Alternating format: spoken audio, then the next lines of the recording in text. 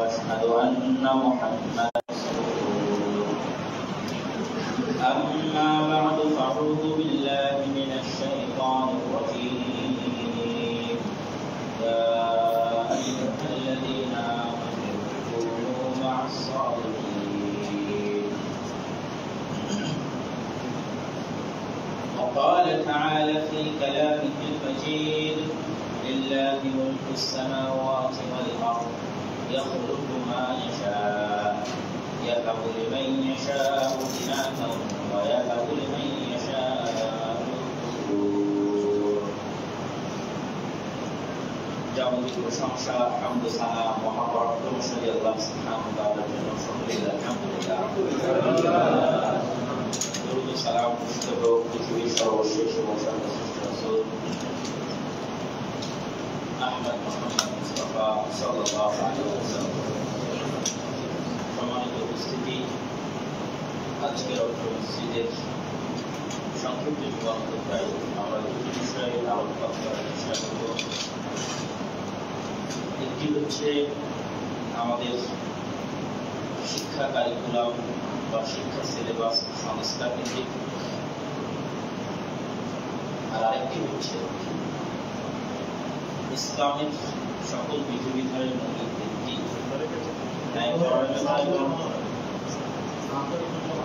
ন্যায়পরায়ণতা এবং সত্যবাদিতার উপর এই বিষয়ে আপনাদের যে সেমিনার ছিল, এই সেমিনারে আমি যে আলোচনা করেছিলাম, সেটি সংক্রান্ত কিছু প্রশ্ন এবং তার দলিল ভিত্তিক উত্তর।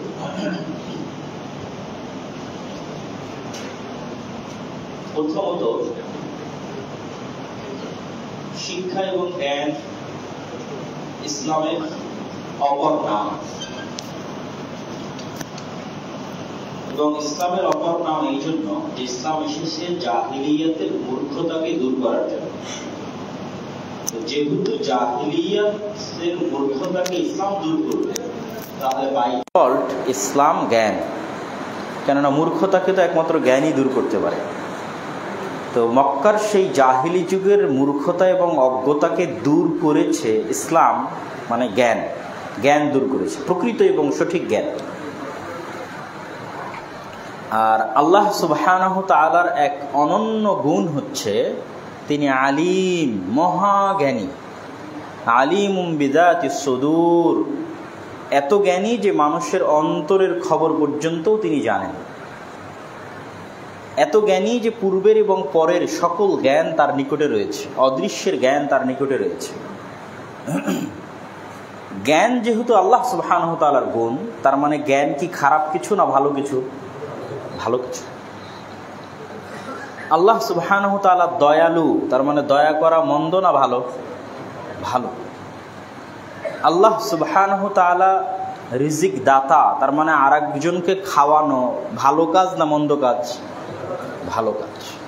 কেন মন্দ হলে এত আর এগুলো আল্লাহর গুণ হতো না। এই জন্য আল্লাহ সুবহানাহু পক্ষ থেকে রসুল সাল্লাহ আলী আসাল্লাম বলেছেন, ইরহামু মানফিল আরজ, ইয়ারহামুকুম মানফিস সামা। তোমরা আল্লাহর দয়া চাও, তো আল্লাহ তো দয়ালু, এটা তোমরা সবাই জানো। এই জন্য তোমরা আল্লাহর দয়া চাও, তো তোমরা কয়জন আর উপর দয়া করো? অতএব তোমরা শুরু করো। এটি দিয়ে শুরু করো যে তোমরা দুনিয়ার মানুষের প্রতি দয়া করবে, তাহলে যিনি আসমানে আছেন উনি তোমাদের প্রতি দয়া করবে। বলেন আল্লাহ তাহলে জ্ঞান আল্লাহ সুবাহ তালার গুণ মানে জ্ঞানী হওয়া ভালো। আল্লাহ সুবাহ তালার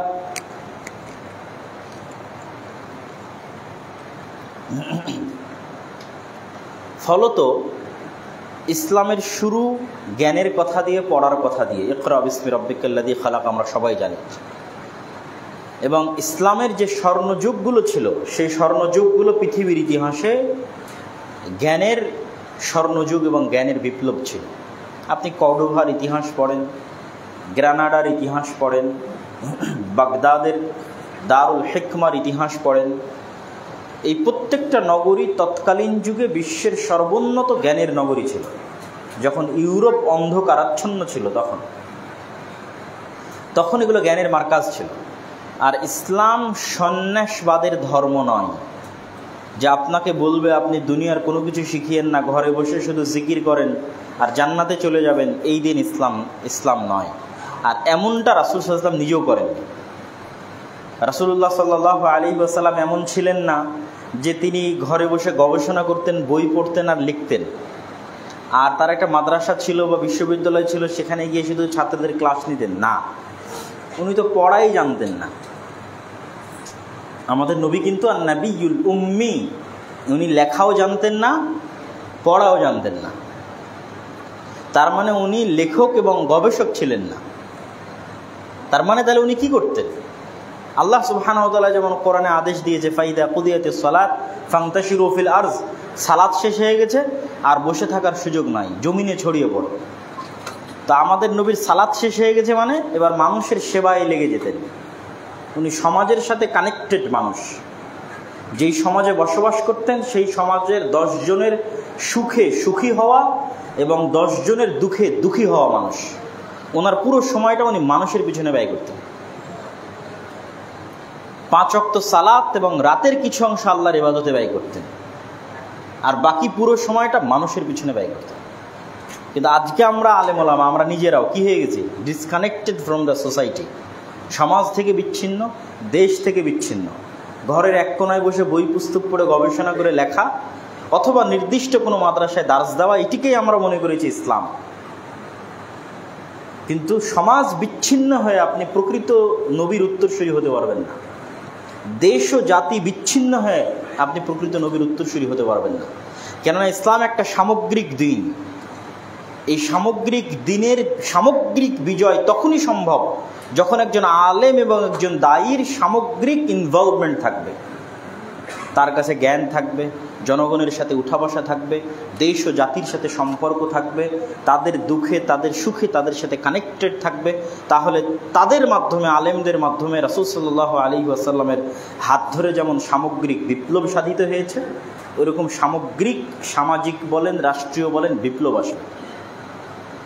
অন্যথায় শুধু ইন্ডিভিজুয়ালি আমরা বক্তব্য দিয়ে কিছু মানুষকে হেদায়ত করতে পারি বই লেখে ইন্ডিভিজুয়ালি কিছু মানুষকে হেদায়ত করতে পারি, পুরো সমাজকে চেঞ্জ করতে পারব না।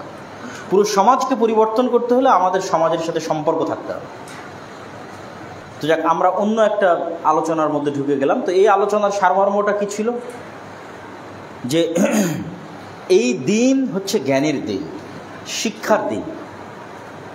রসুল্লাহ সাল্লাহ আলী আসাল্লাম মানুষের সাথে মিশে প্র্যাকটিক্যালি মানুষকে শিখিয়েছেন। এবং এই দিন দুনিয়া, পরিপূর্ণ দুনিয়া বিমুখ সন্ন্যাসবাদ নয়। তাদের রাসুল সাল্লাম কখনো বিয়েই করতেন না। কিন্তু তিনি স্বাভাবিক একজন মানুষের মতো পারিবারিক, সামাজিক জীবন যাপন করেছেন। তারই ধারাবাহিকতায় আমরা দেখেছি গ্রানাডা, কর্ডোভা এবং বাগদাদের মতো ইসলামের জ্ঞানের স্বর্ণযুগ আমরা অতিক্রম করেছি। তাহলে ইসলাম জ্ঞান বিমুখ নয়। অতএব চলমান যে শিক্ষা ব্যবস্থা আছে, এই শিক্ষা ব্যবস্থায় ইসলাম কোনো অবদান রাখতে পারবে না। ইসলাম অপাঙ্তেও হয়ে থেকে যাবে।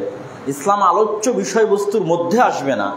বা ইসলাম ভয় ভীতির কিছু, এটা সম্পূর্ণরূপে ইসলাম ও ফোবিয়া বা ইসলামের নামে প্রপাগান্ডা। ইসলাম মানুষের জন্য, ইসলাম দেশের জন্য।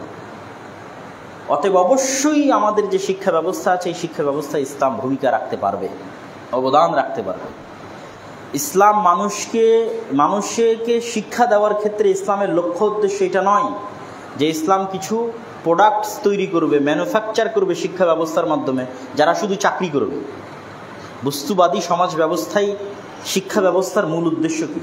এই যতজন স্টুডেন্টস আছে, এরা সব এক একটা বস্তু। এই ইউনিভার্সিটি একটা বস্তু। এখানে যিনি টিচার আছে, তিনিও একটা বস্তু। তাদের কাউকে মানুষ হিসেবে কল্পনা করা হচ্ছে না। এখানে জাস্ট কিছু মেশিন ম্যানুফ্যাকচার করা হচ্ছে। যে এই মেশিনের কাজ কি? মানি আর্নিং শিখতেছে কেন? টাকা উপার্জনের জন্য। ইসলাম কিন্তু শিক্ষা ব্যবস্থাকে কখনোই এই দৃষ্টিকোণ থেকে দেখে না। ইসলাম সবসময় শিক্ষা ব্যবস্থাকে মানুষকে মানুষ বানানোর দৃষ্টিকোণ থেকে দেখে। মানুষকে আদর্শ মানুষ বানানোর দৃষ্টিকোণ থেকে দেখে। যে সর্বপ্রথম এই এলিমেন্ট বা এই উপাদান ফিল হতে হবে আপনার কারিকুলাম দিয়ে, আপনার সিলেবাস দিয়ে যে এই কারিকুলাম এই সিলেবাসে পড়ে মানুষ মানুষে পরিণত হবে, এটা আগে সবার আগে পূর্ণ হতে হবে। তারপরে তখন মানুষ হওয়ার পর সে ইঞ্জিনিয়ার হবে, না ডাক্তার হবে, না আলেম হবে, সেটা তার পরের বিষয়। কিন্তু সেকুলার কারিকুলামে কি হয়? মানুষ একটা মেশিন হবে যে শুধু টাকা উপার্জন করবে এবং দুনিয়া এবং বস্তুর পিছনে ছুটবে। তার মধ্যে অদৃশ্য এবং অবস্তু এই রকম কোনো কিছুর চাওয়া এবং পাওয়া থাকবে না। সম্মান, মর্যাদা, ভালোবাসা, আন্তরিকতা, পরোপকারিতা, জান্নাত, জাহান্নাম, আল্লাহর বিধান তাকোয়া পরহেজগারিতা, সবই তো অদৃশ্য। এই অদৃশ্য জিনিসগুলোর সাথে কোনো সম্পর্ক নাই সেকুলার শিক্ষা ব্যবস্থা। তাহলে সেকুলার শিক্ষা ব্যবস্থার সাথে ইসলামী শিক্ষা ব্যবস্থার মৌলিক পার্থক্যটা লক্ষ্য উদ্দেশ্য। এখানে শিক্ষা ব্যবস্থা প্রথমত একজন মানুষকে প্রকৃত আদর্শ মানুষে রূপান্তর করার ক্রাইটেরিয়া ফিল করবে, তারপরে তাকে ইঞ্জিনিয়ার বানাবে, না তারপরে তাকে ডাক্তার বানাবে, সেটা তখন আসবে। এবং এটি ফিল করার জন্য কোরআন এবং হাদিসের কোনো বিকল্প নাই। রাসুল্লাহ সাল্লাহ আলী ওয়াসাল্লামের জীবনীর কোনো বিকল্প নাই। এবং পৃথিবীতে আজ পর্যন্ত এর চেয়ে উন্নত এবং এর চেয়ে ভালো কোনো বিকল্প আসেনি। পৃথিবীতে এর চেয়ে সুন্দর মানুষের বুঝার এর চেয়ে সহজ কোনো ধর্মগ্রন্থ পৃথিবীতে আসেনি। কোরআন ভারী, কঠিন কোনো বিষয় নয়, বই নয়। হুদাল্লিন না সব মানুষের জন্য। মানে এটা রিক্সাওয়ালার জন্য কোরআন। এই জন্য কোরআনে বিষয়ভিত্তিক তাত্ত্বিক আলোচনা নাই। আপনি খুঁজেন। কোরআনের যে কোনো একটা সুরা খুঁজে দেখবেন যে উপস্থাপনা, ভূমিকা পয়েন্ট বাই পয়েন্ট সালাতের বিস্তর আলোচনা এরকম নাই। এখানে হুদাল্লিন নাস মানুষের হৃদায়তের জন্য। এখানে র্যান্ডমলি গল্পের মতো চলতে থাকে। এই এখনই সালাতের কথা বলবে, তো এখনই আল্লাহর সৃষ্টি রহস্যের কথা বলবে, আসমান, জমিন, বৃষ্টি, নক্ষত্র, তারকারাজি। এই এখনই অতীতে চলে যাওয়া অভিশপ্ত জাতি যাদেরকে আল্লাহ ধ্বংস করে দিয়েছে তাদের কথা বলবে।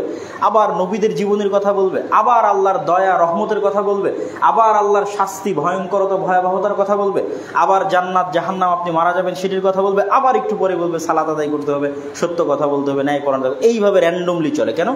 পৃথিবীর সব মানুষ যেন এটা পড়ে বুঝতে পারে। এখানে বিষয়ভিত্তিক সাজানো গোছানো কোনো তাত্ত্বিক আলোচনা নাই। অতএব কোরআন কঠিন কিছু নয়।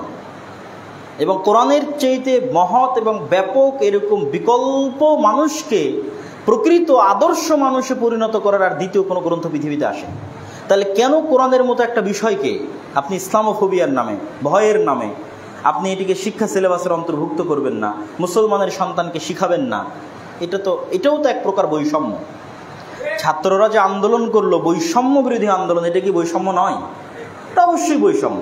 মুসলমানের দেশে শতকরা নব্বই পার্সেন্ট মুসলমানের দেশে তারা তাদের ধর্মগ্রন্থ, তাদের, এবং এটাকে ধর্মগ্রন্থ বলব না আমরা।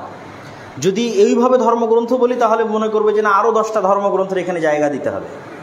এটা কিন্তু ওই আক্ষরিক অর্থে ধর্মগ্রন্থ না, এটা পৃথিবীর সব মানুষের জন্য এই গ্রন্থ। শুধু মুসলমানদের জন্য না। এই কোরআন পড়ে একজন হিন্দু উপকৃত হবে। এই কোরআন অধ্যয়ন করে একজন খ্রিস্টানও উপকৃত হবে। একজন বৌদ্ধ উপকৃত হবে। সকলের জন্য এই কোরআন।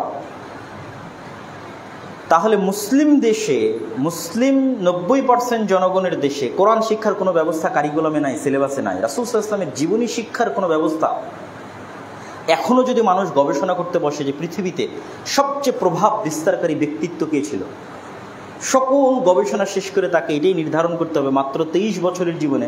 পৃথিবীতে মোহাম্মদ ইসলাম যে প্রভাব রেখে গেছেন, এরকম প্রভাব বিস্তারকারী বৈপ্লবিক ব্যক্তিত্ব পৃথিবীর অতীতেও আসেনি, এখন পর্যন্ত আসেনি।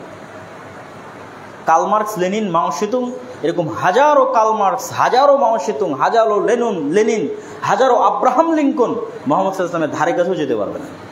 তার আদর্শ, তার চরিত্র, তার বৈপ্লবিক চিন্তা ভাবনা তার রাজনীতি, তার অর্থনীতি তার রাষ্ট্র পরিচালনার নীতি এর ধারে কাছেও যেতে পারবে না। তাহলে মোহাম্মদ সাল্লাহ আলী আসাল্লামের জীবনী এবং কোরআন, এই দুইটা অবশ্য অবশ্যই বাধ্যতামূলকভাবে শিক্ষা ব্যবস্থার অন্তর্ভুক্ত হওয়া উচিত বাংলাদেশে। পাশাপাশি যেই বিষয়গুলো এখন কৌশল করে অন্তর্ভুক্ত করানোর চেষ্টা করা হচ্ছে, দুইটা শব্দ ব্যবহার করার মাধ্যমে, একটা হচ্ছে ইনক্লুসিভ স্টেট মানে অন্তর্ভুক্তিমূলক রাষ্ট্র আর আরেকটা হচ্ছে জেন্ডার ডিসক্রিমিনেশন লিঙ্গ বৈষম্য থাকা যাবে না। এই দুটো শব্দ এমন একটা ধোকাপূর্ণ, মায়াজালের শব্দ, যার মধ্যে দিয়ে এমন কিছু অন্তর্ভুক্ত হয়ে যাবে শিক্ষা সিলেবাসের মধ্যে, রাষ্ট্রের মধ্যে, যেটা ভূমিকম্পের মতো। ধ্বংস করে ছেড়ে দেবে আমাদের পরিবার ব্যবস্থা, আমাদের সমাজ ব্যবস্থা সব কিছু এই জন্য তারা সবসময় এই ধরনের পজিটিভ শব্দগুলো ব্যবহার করে। ইনক্লুসিভ স্টেট অন্তর্ভুক্তিমূলক রাষ্ট্র জেন্ডার ডিসক্রিমিনেশন লিঙ্গ বৈষম্য। লিঙ্গ বৈষম্য বলার মাধ্যমেই নিয়ে আসবে যে এখানে থার্ড জেন্ডার বা তৃতীয় লিঙ্গের অধিকার আছে। মানুষ চাইলে তার লিঙ্গ পরিবর্তন করতে পারে, তার অধিকার আছে। নওয়াজুবিল্লাহ ইনক্লুসিভ স্টেট অন্তর্ভুক্তিমূলক রাষ্ট্র, এই অন্তর্ভুক্তিমূলক রাষ্ট্রের সবাইকে জায়গা দিতে হবে মানে যে একজন সমকামী তাকেও তাকেও জায়গা দিতে হবে, যে এলজিবিটি কীভাবে বিশ্বাস করে তাকেও জায়গা দিতে হবে বলেন নওয়াজুবিল্লাহ এটি হলো অন্তর্ভুক্তিমূলক রাষ্ট্রের থিওরি এই জন্য আল্লাহ সুবাহানহতালা কোরআন মাজিদে বলেছেন, শয়তানের পক্ষ থেকে, আপনাদের এই সেমিনারে আমি শয়তানের উপর আলোচনা করেছিলাম। আল্লাহ বলেছেন, ওয়ালা আ মোরান্নাহুম আল্লাহ বলছেন, শয়তানের কথা। যে শয়তান বলছে, আমি অবশ্য অবশ্যই মানুষকে আদেশ করব যেন মানুষ তার সৃষ্টির মধ্যে পরিবর্তন ঘটায়। আল্লাহ বলছেন, শয়তান বলবে, শয়তান বলছে, চেষ্টা করবে যে মানুষ যেন তার নিজের সৃষ্টির মধ্যে পরিবর্তন ঘটায়। আল্লাহ সুবহানহ তাআলা মানুষকে সবচেয়ে সম্মানী, সবচেয়ে সুন্দর করে সৃষ্টি করেছেন। খালাকনাল ইনসানা ফি আহসানি তাকবিম সবচেয়ে সুন্দর আকৃতি এবং সবচেয়ে সুন্দর শেপ দিয়ে আল্লাহ মানুষকে সৃষ্টি করেছে আর এটি হচ্ছে শয়তানের অসহ্য। শয়তান চায় মানুষকে তার মনুষ্যত্বের জায়গা থেকে নিচে নামিয়ে আনতে। আর এই মনুষ্যত্বের জায়গা থেকে নিচে নামিয়ে আনার জন্য মানুষ যেন তার সৃষ্টির মধ্যে পরিবর্তন ঘটায়, এটি ব্যাপক ভূমিকা রাখে। মানুষ ছেলে হিসেবে মেয়ের অভিনয় করবে, মেয়ে হিসেবে ছেলের অভিনয় করবে। আল্লাহ সুবহানাহু তালার দেওয়া স্বাভাবিক চেহারা, আকৃতির বিকৃতি ঘটাবে। এগুলো প্রত্যেকটাই তাকে মানুষের জায়গা থেকে নিচে নামিয়ে আনে। কোন জায়গায় নামিয়ে আনে? যেই জায়গায় ফেরাউনও ছিল না। মানে ফেরাউনের অতটুকু আত্মমর্যাদা, আত্মসম্মান ছিল আবু জাহাল আবুল আহাব নমরুদের অতটুকু আত্মমর্যাদা, আত্মসম্মান ছিল যে তারা পুরুষের জায়গা থেকে অন্তত নিচে নামে। তাদেরকে আল্লাহ যেই সৃষ্টির উপর সৃষ্টি করেছে, ওই সৃষ্টির উপর থেকেছে, কিন্তু অহংকারের কারণে তাদের ধ্বংস হয়ে গেছে। কিন্তু আপনি বা আমরা, আমাদের কোনো সন্তানেরা যদি এই ধরনের থিঙ্কিং লালন করে এবং এই ধরনের জিনিস যদি সিলেবাসে ঢুকানো হয়, তাহলে তার মনুষ্যত্বটা তার আত্মমর্যাদা, আত্মসম্মানটা ফেরাউনের চাইতো নিম্ন পর্যায়ের, নমরুদের চেয়েতেও নিম্ন পর্যায়ের, আবু জাহালের চেয়েতেও নিম্ন মানুষের জায়গা থেকে নিচে নেমে যাবে। আর এটা শয়তান চায় যে এটা হোক, সংঘটিত হোক। তাহলে লিঙ্গের ক্ষেত্রে সমাধান কি? লিঙ্গের ক্ষেত্রে ইসলামের স্পষ্ট বক্তব্য। কোরআনের আল্লাহ সুবাহানহতালা এই বিষয়ে আয়াত অবতীর্ণ করে স্পষ্ট করে দিয়েছেন। লিল্লাহে মুলকুসামাওয়াত ওয়াল আরজ। আসমান এবং জমিনে একচ্ছত্র রাজত্ব আল্লাহর। ইয়াখলুকু মা ইয়াশা, আল্লাহ যা ইচ্ছা তাই সৃষ্টি করতে পারে। যেমন পিতা ছাড়া ঈসা আলাই সালাতামকে সৃষ্টি করেছে, পিতা এবং মাতা ছাড়া আদম আলাই সালাতামকে সৃষ্টি করেছে, ইয়াখলুকু মা ইয়াশা, যা ইচ্ছা তাই সৃষ্টি করতে পারে। ইয়াহাবুল ইমাই ইয়াশা ও ইনাসাও ইয়াশা ও দুকুর। আল্লাহ যাকে ইচ্ছা তাকে কন্যা সন্তান দান করেন, যাকে ইচ্ছা তাকে পুরুষ সন্তান দান করেন। শেষ। এই দুটেই লিঙ্গ আল্লাহ নির্ধারণ করে দিয়েছে মানুষের জন্য। যে আল্লাহ সুবাহানতলা যাকে চান কন্যা সন্তান দান করেন, যাকে চান পুরুষ সন্তান দান করেন, এর বাইরে ইসলামের তৃতীয় লিঙ্গের কোনো অস্তিত্ব নাই। তাহলে আপনি বলবেন, হিজড়াদের কি হবে? যেহেতু ইসলাম বেসিক মূলনীতি ঠিক করে দিয়েছে যে লিঙ্গ মাত্র দুটি, হয় পুরুষ না হয় নারী। তাহলে হিজড়াদের ক্ষেত্রেও আপনি বায়োলজিক্যাল টেস্ট বলেন, তাদের শরীরের আকার আকৃতি বলেন, দেখে তারা নিজেরাও বুঝতে পারে, সমাজের মানুষও সিদ্ধান্ত নিতে পারে, ডাক্তারও সার্টিফিকেট দিতে পারে যে তার মধ্যে কোন স্বভাব চরিত্র বেশি আছে, কোন হরমোন বেশি আছে। ইজি আগের যুগের যখন এরকম মেডিকেল বিজ্ঞান এতটা উন্নত ছিল না, তখন বাহ্যিক আকার আকৃতির পরিবর্তন দেখে আগের যুগের ফোকাহারা সিদ্ধান্ত দিয়েছে। তোমার কি স্বপ্নদোষ হয়? বলে হ্যাঁ স্বপ্নদোষ হয়। তোমার কি ঋতু হয়? তো বলে, হয়। স্বাভাবিক যে দুইটা আলামত বাহ্যিক প্রকাশ্যমান, সেটির ভিত্তিতে তারা সিদ্ধান্ত নিয়েছে। আর এখন তো আমাদের কাছে আরও ইজি যার এরকম শারীরিক সমস্যা রয়েছে, তাকে মেডিকেলে নিয়ে যান। বায়োলজিক্যাল টেস্ট করে পুরুষ হরমোন বেশি আছে না নারী হরমোন বেশি আছে? শেষ। যদি পুরুষ হরমোন বেশি থাকে, সে পুরুষ হিসেবে গণ্য হবে সমাজে। তার জন্য নারীদের বেশ ধারণ করা হারাম হিসেবে বিবেচিত হবে সমাজে।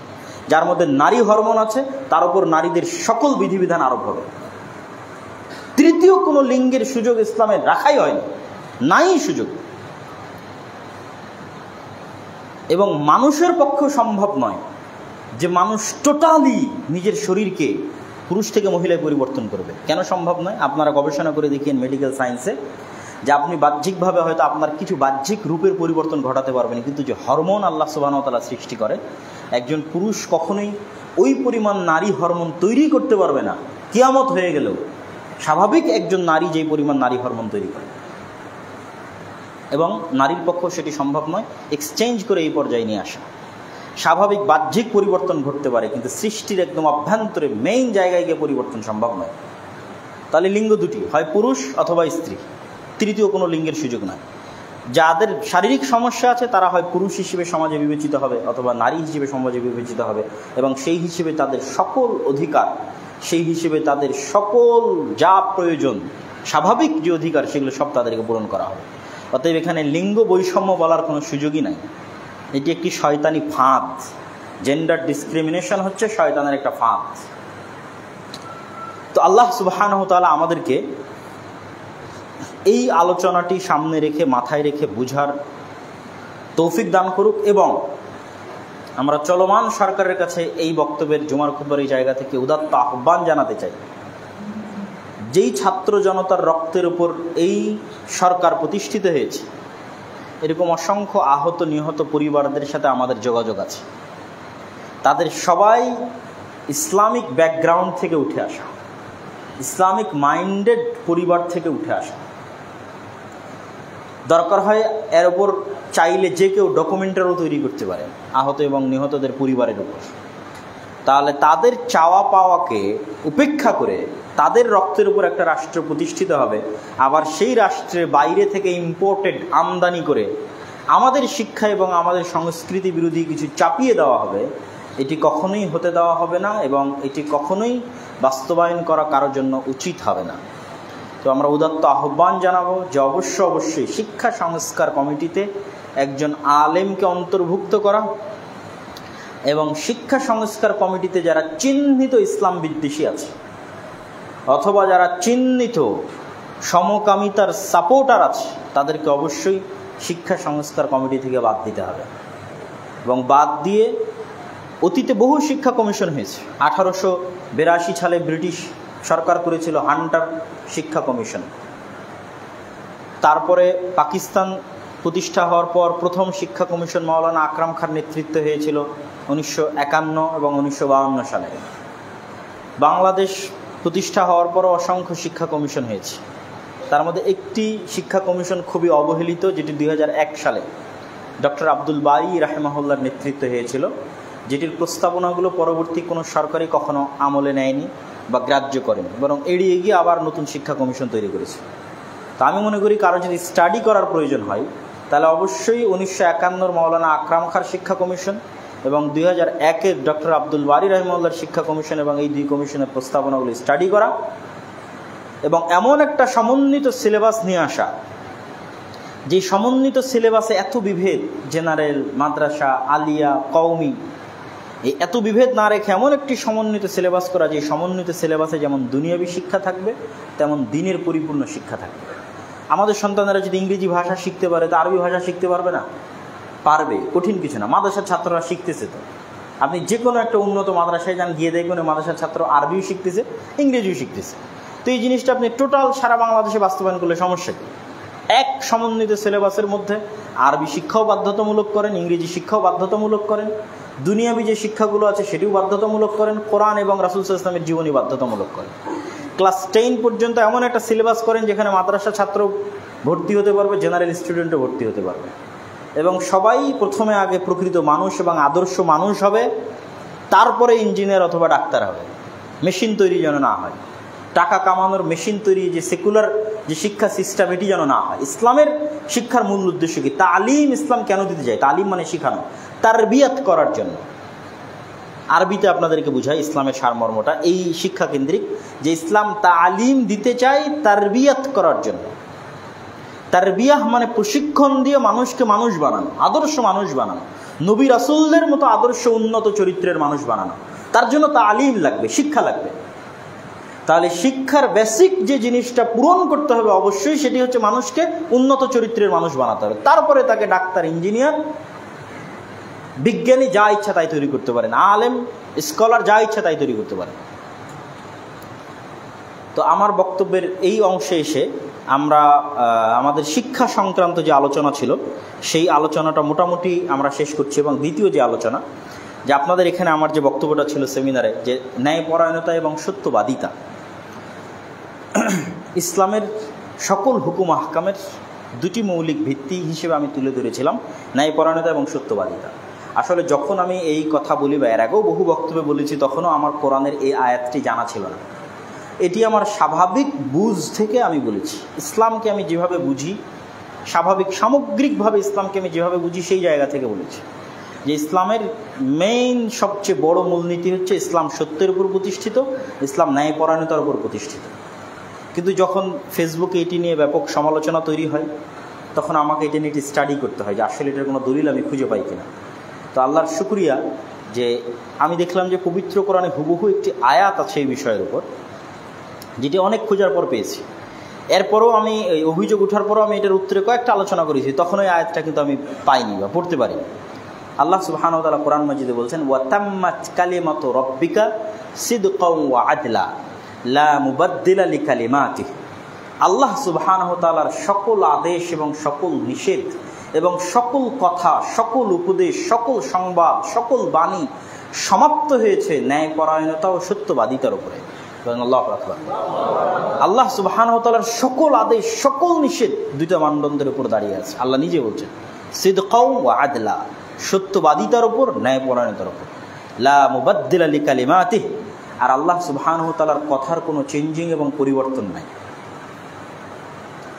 তাহলে বোঝা গেল যে আমি তাওহিদের কথা বলি, অথবা সালাতের কথা বলি, অথবা চুরি করলে হাত কাটার কথা বলি, অথবা পিতার সম্পত্তিতে নারীর ভাগের কথা বলি, যা আদেশ নিষেধ আল্লাহ কোরআন এবং আদেশে দিয়েছে, রাসুল ইসলাম দিয়েছে, তার প্রত্যেকটাই দুইটা মানদণ্ডের উপর দাঁড়িয়ে আছে। সত্যবাদিতা এবং ন্যায়পরায়ণতা।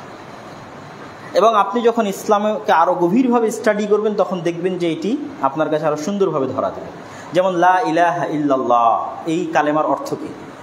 সবাই, সব আলেমলামা এই কালেমের অর্থ লিখেছে, লা মাহবুদ আবে হাক্কিন ইল্লাল্লাহ পৃথিবীতে ইবাদতের যোগ্য সত্য কোনো মাহবুদ নেই, আল্লাহ ব্যতীত। এই যে সত্য, সত্যটা চলে আসলো মানে আল্লাহ ইবাদতের যোগ্য হওয়ার ক্ষেত্রে একমাত্র সত্য। আর বাকি যাদের আমরা ইবাদত করছি, এরা সবাই কি? মিথ্যা। তাহলে দুই নম্বর এবার এর সাথে যুক্ত করেন। যে আল্লাহ ইবাদতের যোগ্য, এই ক্ষেত্রে মানুষের পক্ষ থেকে তিনি ইবাদত পাবেন, এটি ন্যায়। আর আল্লাহ ব্যতীত মানুষ অন্য কারও ইবাদত করবে, সেটি অন্যায়। মানে ন্যায় পরায়ণতার বাইরে। আল্লাহ একমাত্র যোগ্য। এই জন্য আল্লাহ কোরআনে বলেছে যে, ইন্না শিরকা লাজুলমুন আজিম শিরকে আল্লাহ গুনাহ মানে জাম্বুন আরবি শব্দ গুনাহ, এভাবে বলেনি। বলেছে, জুলম, অত্যাচার। শির্ক হচ্ছে অত্যাচার জুল অন্যায়। কেন মানুষের জন্য এটিই ন্যায় যে মানুষ এবাদত করবে তার যে তাকে সৃষ্টি করেছে, এটিই ন্যায়। আর এটিই সত্য যে আল্লাহ সুবাহতালা মানুষকে সৃষ্টি করেছে এবং তিনি ইবাদত পাওয়ার যোগ্য। তাহলে আল্লাহর সাথে মানুষের সত্যবাদিতা এবং মানুষের ন্যায় পরায়ণতার এক নম্বর যে কাজ, সেটি যে তাওহিদ। এটিই সত্য এবং এটিই ন্যায়। আর এর বাইরে গেলে সেটি মিথ্যা এবং অন্যায়। ঠিক এভাবে আপনি ইসলামের প্রতিটা বিধিবিধানের মধ্যে যাবেন, দেখবেন এভাবেই সব জায়গাতে আপনি সত্যবাদিতা এবং ন্যায়পরায়ণতাকে আবিষ্কার করবেন যে পুরো ইসলাম দুটি জিনিসের উপর দাঁড়িয়ে আছে। আল্লাহ নিজে সত্যবাদী এবং ন্যায়পরায়ণ। পৃথিবীতে যত নবী রাসুল পাঠিয়েছেন সব সত্যবাদী এবং ন্যায়পরায়ণ। আর ইসলামের যত বিধিবিধান আছে, সকল বিধিবিধান ন্যায়পরায়ণতা এবং সত্যবাদিতার মানদণ্ডে দাঁড়িয়ে আছে। এই জন্য আল্লাহ সুবাহানতালা কোরআন মাজিদে বলছেন, ইয়া আইয়ুহাল্লাযীনা আমানুত্তাকুল্লাহ ওয়া কুনু মা'আস সাদিকিন হে ইমানদারগণ, তোমরা আল্লাহকে ভয় করো এবং সত্যবাদীদের অন্তর্ভুক্ত হও। সত্যবাদী মানে কি? সকল ক্ষেত্রে সত্যবাদী। আল্লাহর সাথে সত্যবাদী, নবীর সাথে সত্যবাদী। সত্যবাদী মানে শুধু আমার আর আপনার কথার সাথে সত্যবাদী না। আল্লাহর সাথে সত্যবাদী হওয়া কোনটা? তাওহিদে বিশ্বাস স্থাপন করা সালাদ প্রতিষ্ঠা করা, এটি হচ্ছে আল্লাহর সাথে সত্যবাদী হওয়া। আল্লাহ সুবহানাহু বলেন, ক্বাল আল্লাহু আল্লাহ বলেন যে আজকের দিনে মানে কিয়ামতের দিনে, সত্যবাদীদের সত্যবাদিতাই একমাত্র তাদের উপকারে আসবে। লাহুম জান্নাতুম তাজরি মিন তাহতিহাল আনহার। তাদের জন্য জান্নাত রয়েছে, যার তলদেশ দিয়ে ঝর্ণাধারা প্রবাহিত। খালিদিন ফিহা আবাদা। তারা সেখানে চিরস্থায়ী থাকবে। রাদিয়াল্লাহু আনহুম ওয়া রাদু আন আল্লাহ তাদের উপর সন্তুষ্ট আর তারা আল্লাহর উপর সন্তুষ্ট। দা আলিকাল ফৌজুল আদিম আর এটি হচ্ছে মহা সফলতা। সাকসেসফুল সাকসেসনেস সবচেয়ে বড় সফলতা। আল্লাহ সুবাহানহতালা কোরআন মাজিদে এরকম সত্যবাদিতার উপর অসংখ্য আয়াত এবং অসংখ্য হাদিস রসুল্লাহ সাল্লাহ আলী ওয়াসাল্লাম তার জীবনে তুলে ধরেছেন। যেমন রসুল্লাহ সাল্লাহ আলী ওয়াসাল্লাম তার হাদিসের মধ্যে বলছেন, ইন্না ইয়াহদি ইলাল বের সত্যবাদিতা মানুষকে নেকির রাস্তা দেখায়। ও ইন্নাল বের ইয়াহদি ইলাল জান্নাহ। আর নেকি মানুষকে জান্নাতের রাস্তা দেখায়, আর মিথ্যা মানুষকে গুনাহের রাস্তা দেখায়, আর গুনাহ মানুষকে জাহান্নামের রাস্তা দেখায়। তাহলে মানুষের সৎ পথে থাকা অথবা পথভ্রষ্ট হয়ে যাওয়ার মানদণ্ড নির্ধারণ করেছেন রসুল্লাহ সাল্লাহ আলী ওয়াসাল্লাম, মানুষের সত্যবাদিতে, সত্যবাদিতা অথবা মানুষের মিথ্যা।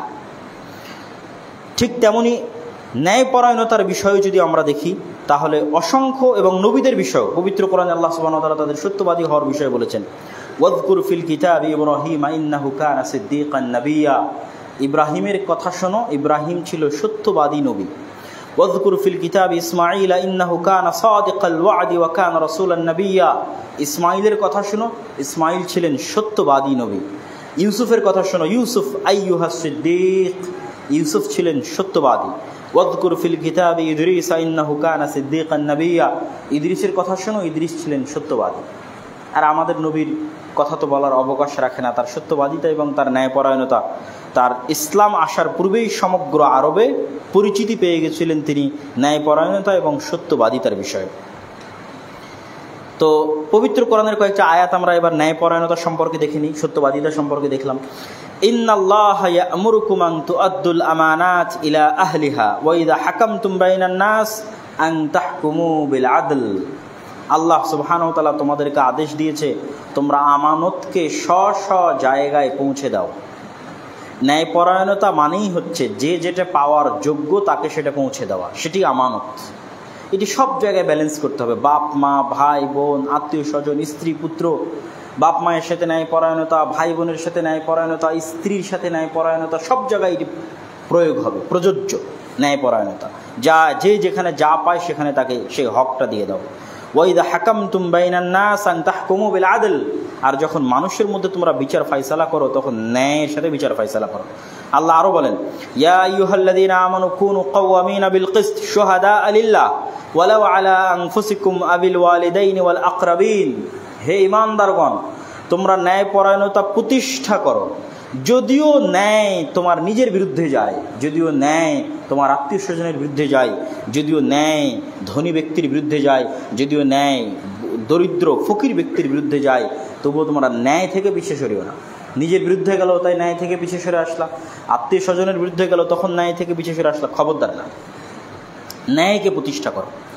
আল্লাহ সুবহানাহু তাআলা আরেক আয়াতে বলেন, ইয়া আইয়ুহাল্লাযীনা আমানু কুনু কাওয়ামিনা লিল্লাহি শুহাদাআ বিল কিসত। ওয়ালা ইয়াজরিমান্নাকুম শানআনু কওমিন আলা আল্লা তা'দিলু। হে ইমানদারগণ, খবরদার, কোন নির্দিষ্ট ব্যক্তি, জাতি, গোত্রের প্রতি তোমার অন্তরে লুকিয়ে রাখা বিদ্বেষ, তোমাকে যেন ন্যায়পরায়ণতা প্রতিষ্ঠা করতে বাধা না দেয়। লা ইয়াজরিমান্নাকুম শানআনু কওমিন আলা আল্লা তা'দিলু। তোমাকে যেন উৎসাহিত না করে। তোমার ভিতরে থাকা ব্যক্তিগত, জাতিগত, গোত্রগত বিদ্বেষ যে তুমি ন্যায় প্রতিষ্ঠা করতে পারছ না। আপনি দেখেন যে আমাদের যত সমস্যা আছে মুসলমানদের, তার মূলে কিন্তু এটি আছে।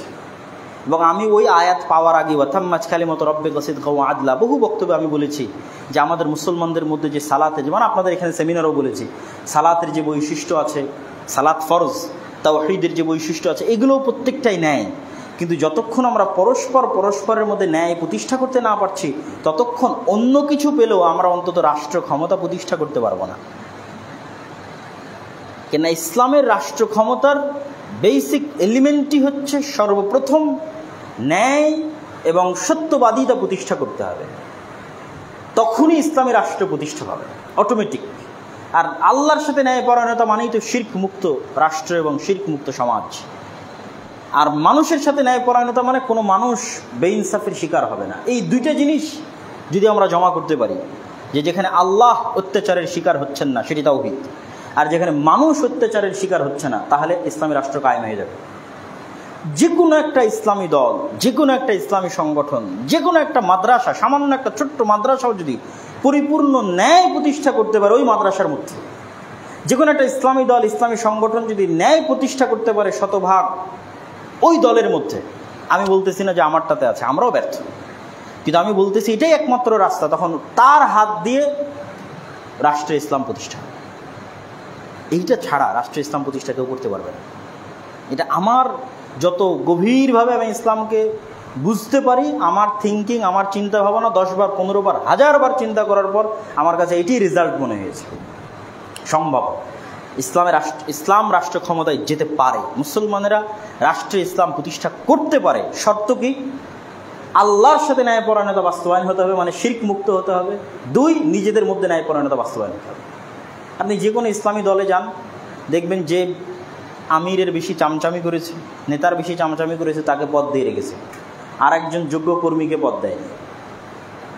মাদ্রাসায় যান, পরিচালক বলেন, প্রিন্সিপাল বলেন, মসজিদে যান, কমিটির সভাপতি বলেন, কেউ তাদের ওই মাদ্রাসা মসজিদের মধ্যে ন্যায় বাস্তবায়ন করতে পারে ন্যায় পরায়ণতা বাস্তবায়ন করে, নাহলে বাইতুল মুকারমে মারামারি হয়।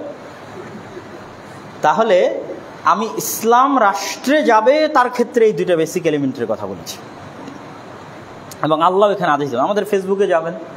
ফেসবুকে মানুষ একজনের প্রশংসা করতেও ন্যায়কে অতিক্রম করছে, আর একজনের বিরোধিতা করতেও ন্যায়কে অতিক্রম করছে। অথচ আল্লাহ নিজে বলছেন, তোমার অন্তরে থাকা যে বিদ্বেষ আছে, আমাকে তুমি পছন্দ করতে পারো না। হতেই পারে। কিন্তু তাই বলে তুমি ন্যায়কে অতিক্রম করে আমার বিরুদ্ধে লিখবা, এটা করিও না। তাহলে অন্তত তোমার দিয়ে ইসলাম প্রতিষ্ঠা হবে না। আর নবী রাসুলগণের বৈশিষ্ট্য এটি কখনোই ছিল না। তারা সত্যবাদিতা এবং ন্যায়পরায়ণতায় কখনো ছাড় দিতেন না। কেন দিতেন না সেটাও আপনাকে বলি। নবী রাসুলগণ তো আর ওই ঘরের মধ্যে বসে বই লেখে গবেষণা করা আর মাদ্রাসার মধ্যে গিয়ে দারাজ এটার মধ্যে সীমাবদ্ধ ছিলেন না। তারা হচ্ছে সমাজের মানুষের সাথে চলতেন ওপেন রাষ্ট্রের সকল স্তরের সাথে। সব নবী রাষ্ট্রের ডাইরেক্ট মেইন থিমেকে আঘাত করেছে। মুসা আলাহ সাল্লামকে কি বলেছে? এই ধাবে এলা ফেরাউন সরাসরি যে রাষ্ট্রনেতা তার কাছে যাওয়ার আদেশ। তাহলে মুসা আলাহ কখনই বিজয়ী হতে পারবেন না। উনি তো আর মসজিদের কোনায় বসে ইবাদত করছেন না, অথবা ঘরে বসে বই লিখছেন না। উনি ন্যায় এবং সত্যবাদিতা ছাড়া ফেরাউনকে পরাজিত করবে কীভাবে? ইম্পসিবল এই জন্য সব নবী রাসুলকে ডাইরেক্ট রাষ্ট্রের নেতাদের কাছে দাওয়াত দেওয়ার আদেশ। তাহলে নবী রাসুলদেরকে বাই ডিফল্ট সত্যবাদী ন্যায় পরায়ণ হবে। কেন আর একটু খুলে বলি? ধরেন আবু সুফিয়ান ইসলাম গ্রহণ করতে চাচ্ছে রদি আল্লাহ তালা আন অমর রদি আল্লাহ তালাম ইসলাম গ্রহণ করতে চাচ্ছে। এখন আমাদের নবী মোহাম্মদ সাল্লাহ আলী ওয়াসাল্লাম তার ইসলাম গ্রহণ করার পূর্বেই আবু সুফিয়ান এবং অমর রাজিল্লাহ তালানুর সাথে এমন আচরণ করে রেখেছে, যেই আচরণে আবু সুফিয়ান ইসলাম গ্রহণ করতে চাইলে আল্লাহর নবী লজ্জা পাবে। বুঝেননি মনে আমার কথা? যেমন আপনি আমাদের ফেসবুকের কথাই দেখেন যে আমার সাথে বা আমাদের এরকম মানুষজনের সাথে একদল মানুষ যে ধরনের আচরণ করতেছে, সে কিন্তু পরবর্তীতে আমার কাছে এসে লজ্জা পাবে, আমার কাছে আসতে লজ্জা পাবে। বা আমি যদি এমন কোনো নেগেটিভ আচরণ করি, তাহলে কিন্তু আমি তার কাছে যেতে লজ্জা পাবো? তাহলে একজন নবী নবী হিসেবে যে উম্মতের কাছে প্রেরিত হয়েছে, ওই উম্মতের সাথে যদি খারাপ আচরণ করে, কোনো প্রকার অন্যায় সংঘটিত করে বা কোনো প্রকার মিথ্যার আশ্রয় নেয়, তাহলে ওই মানুষটার পরবর্তীতে নবীর হাতে কেমনি ইসলাম গ্রহণ করবে? এই জন্য নবী রাসুলরা কোনো দিন চুল পরিমাণ সত্যবাদিতাতে ছাড় দিতে পারেন না ন্যায়পরায়ণতাতে ছাড় দিতে পারেন না। এই জন্য এমন দায়ী লাগবে, এমন আলেম লাগবে, এমন মাদ্রাসা লাগবে, এমন ইসলামী দল সংগঠন লাগবে, যারা অন্তত এই দুইটা বেসিক এলিমেন্টে কখনো ছাড় দিবে না। সত্যবাদিতা এবং ন্যায় ন্যায়পরায়ণতা, তাহলে তাদের হাত দিয়ে আল্লাহ রাষ্ট্রে ইসলাম প্রতিষ্ঠা করে দিবে রাষ্ট্রে ইসলাম শুধু স্বাভাবিক আমরা সালাত আদায় করলাম বা স্বাভাবিক আমরা সিয়াম পালন করলাম, এটি দিয়ে সম্ভব না। আমি এটি বুঝাতে চেয়েছি অবশ্যই সালাত দিয়ে, সিয়াম দিয়ে মানুষ জান্নাতে চলে যাবে। অবশ্যই শির্ক মুক্ত থাকলে আল্লাহ মানুষকে জান্নাত দিয়ে দিবে। অবশ্যই মানুষের সাথে সংক্রান্ত যে গুনাহ আছে, এই গুনাহগুলোরও ক্ষমার রাস্তা আছে। আমি ক্ষমা চেয়ে নিলাম আপনার কাছ থেকে যে, ভাই, আমি তোমার প্রতি অন্যায় করেছিলাম, তুমি আমাকে ক্ষমা করে দাও। ক্ষমার রাস্তা আছে, জান্নাতে যাওয়ার রাস্তা আছে। কিন্তু আমি আপনার সাথে অন্যায় করে ইসলাম প্রতিষ্ঠা করব দিস ইজ ইম্পসিবল রাষ্ট্রে ইসলাম প্রতিষ্ঠা করতে পারব না। রাষ্ট্রে ইসলাম প্রতিষ্ঠা করতে চাইলে সমাজে আমার জায়গায়, আমার স্পেসের শতভাগ সত্যবাদী এবং শতভাগ ন্যায়পরায়ণ থাকতে হবে। এবং এগুলোর অসংখ্য আয়াত পবিত্র কোরআনে এবং রাসুল সাল্লাহ আলী আসসালামের হাদিসে এই দুইটা জিনিসের উপর জোর দিয়ে বলা আছে। যার সংক্ষিপ্ত আমি আজকে আপনাদের এখানে তুলে ধরার চেষ্টা করলাম। আল্লাহ সুবাহানহ তালা আমাদেরকে যে দুইটা বিষয় আজকে আলোচনা করেছি, রাষ্ট্রের শিক্ষা সংস্কার আর দুই হচ্ছে ইসলামের যে বেসিক এলিমেন্ট ন্যায়পরায়ণতা এবং সত্যবাদিতা। এই বিষয়গুলো আল্লাহ সুবাহতালা মাথায় রেখে আমাদেরকে যতদূর সম্ভব পালন করার এবং পরিবর্তন নিয়ে আসার এবং সংস্কার করার তৌফিক দান করুক। আল্লাহ আমিন।